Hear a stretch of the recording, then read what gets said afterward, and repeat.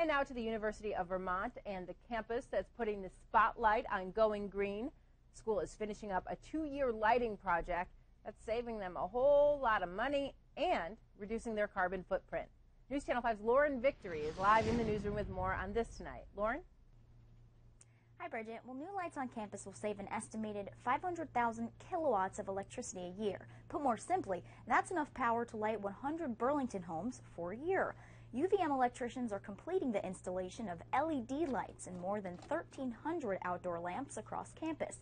The investment cost the university $225,000, but administrators say the return is a saving, uh, savings of $75,000 a year. They say the project is environmentally friendly too because the bulbs prevent carbon dioxide emissions from being released. Also, project managers say the longer lifespan of these bulbs means less lights going into landfills. Overall, students will notice brighter walkways. Administrators hope it sends a message beyond campus.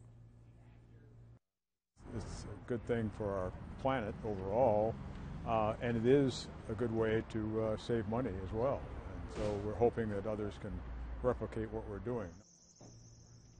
UVM partnered with Burlington Electric Department on the project. The lighting project is funded by the university's Green Revolving Fund, an initiative started last year. Money saved goes back into the fund for future green investments. The university is already working on a second project covering steam pipes with thermal blankets. That's expected to save $25,000 a year. Live in the newsroom, Lauren Victory, News Channel 5.